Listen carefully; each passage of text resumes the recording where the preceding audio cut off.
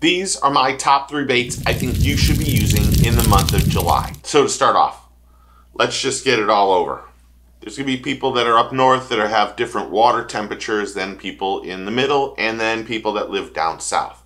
I'm kind of generalizing what I think you should be using. I'm trying to give you the tactics of things that are happening all around the country and then hopefully you can use the best baits that you are comfortable and confident with. But these three or four or five baits are pretty much going to be able to, you're going to be able to use all throughout the country. Because right now, July is the dog days of summer. When you're down here in Florida, it's miserable hot. If you're in the middle of the country, you're really dealing with warm weather too. And then it's probably beautiful up north, I imagine. We are, the bass are going to be doing certain things. Down south in the middle, they're going to be looking for a little bit deeper water because the water is a little bit cooler. That's also the same thing that's going on up north. Your Ned rigs and your shaky head worms and things like that that are going to be on the bottom is really kind of the things we're going to target this month because the fish are going to go deeper. It isn't that they're not going to be shallow. If they're shallow, they're going to be looking for structure, a lily pad, a dock, a ledge, or something that they can get some sort of relief from the sun from. Just like with us, being outside, we get burnt and so forth. It just makes things miserable, which really is the first thing I think you should do. I think that if you are out fishing and you're fishing for the whole day, first, I think you're crazy. But that's all right, because I'm crazy too. But if you are, I think you need to make sure you put on sunscreen. Put it on. Get the or get a shirt that is sunscreen protective or whatever it is and stay hydrated. This is the time of year you don't realize how much you sweat and how much your body changes because of the heat. So stay hydrated and put on sunscreen or get a good shirt or a neck, the neck thing, or the whole head, whatever it is. Get it, put it on, and use it. During this, the really the dog days, summer and August, and even really June, the bass, a bass metabolism is drastically different.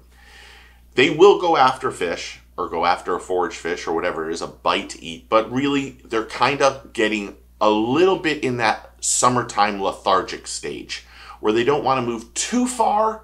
And if they can get something that's in their wheelhouse around them that just drops out of the water and hits them in the face, they're going to eat it. They're just going to look to eat as much as possible to gain weight for what's going to happen in a few months. Bass really are going to look for a bigger bait right now, but it doesn't mean they're going to pass up smaller things. Like I said, a giant worm probably is one of the things I should be talking about because it's really effective right now, especially bouncing off the bottom, dragging, whatever. Texas rigging, I think that's uh, very important. But also a Ned is going to be unbelievably successful this time of the year too. If you have watched this far, you should have hit that subscribe button. So do me a favor, hit the subscribe button and like, become part of the team and family. So we started talking about the Ned rig and a big giant worm. That's really in the same thing that I'm going to show you right here. Except we're going to use, I think the first bait I want you to use is some sort of creature bait. This is a spicy beaver, I think. And this is the water dragon from Culprit. And I use this a lot again, this, the reason I'm using these is I want these to to sink to the bottom and I want to just twitch them, keep them low, keep them on the bottom and bounce them off the bottom. Be a little bit patient at times. Couple twitches and let it sit. Let the bass think that something that it's hiding or whatever.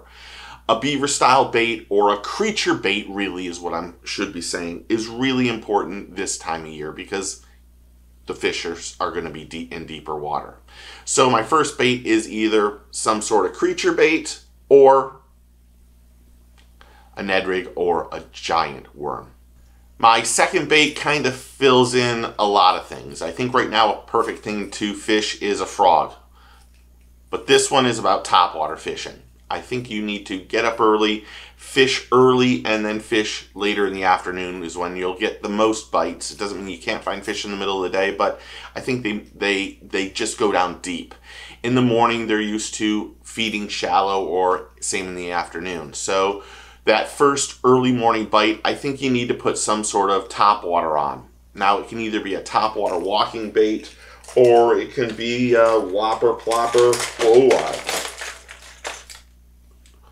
And that's what you get when you have a whopper plopper. You see what I mean, but you can get a whopper plopper or something. That's a disaster there. Uh, something that's top water oriented. That top that whopper plopper or uh, the Berkley Choppo will churn the water, will make that noise that attracts fish. Uh, it kind of tells them that it's coming over and they get aggressive and attack it. And there's nothing better than a topwater strike, to be honest. So while I think a frog is a really good option this month, because I could say that pretty much down south year round. Right now it's frog season down here in Florida. I think if you're in the southern states, a frog is perfect. But as you start to move up, I think you need to be using some sort of top water, choppo, whopper, plopper, any type thing like that. You'll get bites with it, and it's a great bait to use.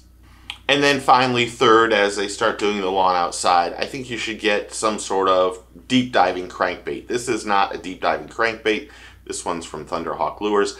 I think you want to have something that's going to dig into the bottom. It's going to bounce off the bottom. Uh, I'm not a big crankbait fisherman just because of all the grass and everything. But in that case, if you have a lot of grass, I think you go with some sort of lipless crankbait. If you haven't seen the Nomad series, I did a video on them. These are three different series of baits and actions, and they're really, really quite good. Actually, I have an unboxing of a Nomad coming up soon. This is uh, these are two baits that you're going to get that you're going to fish deeper. In the case of the lipless, you're going to yank it through or pull it through that grass. The lipless crankbait, you just want to get it to the depth. If you're at 18 foot, use that 20 foot diver. You want that nose to dig into the, the bottom of the sea floor or the pond floor, lake floor, whatever it is. You want that bouncing and that motion, that commotion that that bait makes. That's a great, both of those are great search baits too. Now you can use them early in the morning, but I think your your better time to use those baits are kind of when the sun starts to get middle level not when it's right directly over top of you but at that eight nine o'clock where you get some shine off of that and they hear it and they feel it they feel the vibration they hear it in the rattles and it's a great bait to use year round but in july those two are going to be very very successful for you so tell me what three baits you'll be using in the month of July. I want to see them. Should I do a northern region, southern region, and central region and tell you the lures there? There is a lot of research that does go into this and I try to generalize on what everything on what is happening throughout the country. Because what's happening down here, we're having a serious frog bite right now, is going to be different than what's going on in up north. But we do know there's some characteristics that we do know are going to be the same the fish are going to go deep. So that's what I try to do. Tell me what three, uh, three baits you're going to use in July in the comments below. Remember, take a kid fishing, get your fish on. I'll talk to you soon. Cheers.